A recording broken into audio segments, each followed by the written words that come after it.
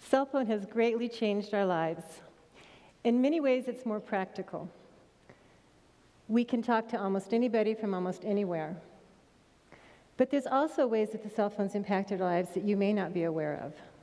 You see, our brain has a natural chemical response to the cell phone. It's a release of a chemical in the brain called dopamine. Now, I'd always heard that dopamine was the chemical that makes you feel good, but that's not actually the case.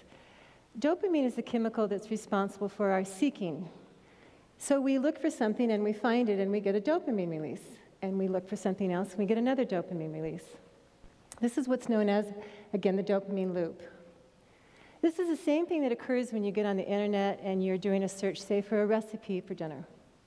And you find yourself an hour later, light years away from where you started. Now you're reading about designer breed dogs, and dinner still isn't ready.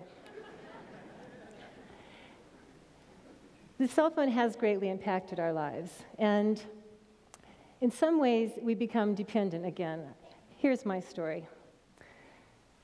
I had the original cell phone that came with my plan. It wasn't fancy, no text, no camera. But it was practical, and I kept it in my purse, and I used it when it was necessary. Then came the iPhone. Now I had camera, internet, email, and a whole host of phone applications on a, all on one handheld unit. And I found myself really developing a dependence on this phone. I would carry it with me from room to room in the house, even taking it in the backyard when I went to garden. But my dependence worsened when I got into a relationship with a texter. I found myself on an emotional roller coaster. I so looked forward to the texts I would get from him, and when I got them, I'd be elated and excited. But when they didn't come in, I found myself really low. so this intrigued me, and I started looking at how other people use their cell phone. Families on cell phone, parents talking on the phone instead of to their kids, kids on the cell phone. I'd go into restaurants and whole tables, everybody on the cell phone. So I decided to do some research. It turns out that everything about this technology is designed to rope us in, from the alert that it emits to the amount of text you can see on the screen. And we buy into it because we've become information seekers. Even the text on a news media, audios, visuals, and text scrolling across the screen, and we go for it.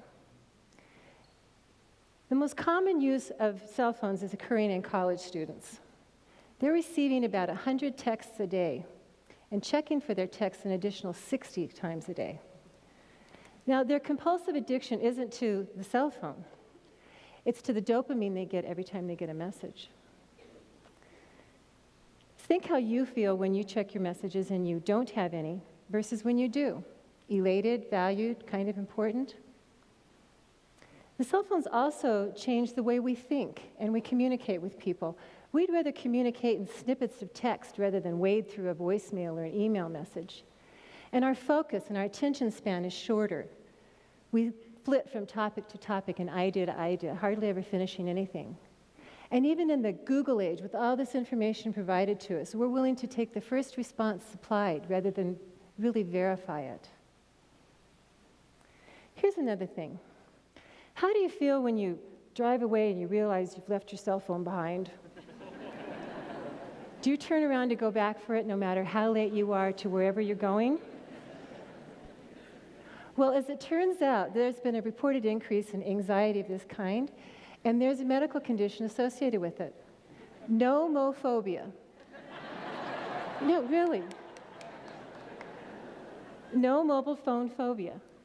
And it's the condition that arises from the anxiety that we feel when we don't have our cell phone or when you don't have communications. So I'd like to offer you a challenge today. For the next two weeks, put your cell phone out of your physical location for an hour a day. For one hour a day, be without the cell phone. Focus on something else your surroundings, the people around you, or just gaze into these beautiful New Mexico skies. One hour a day, dopamine free. Hello, Mom.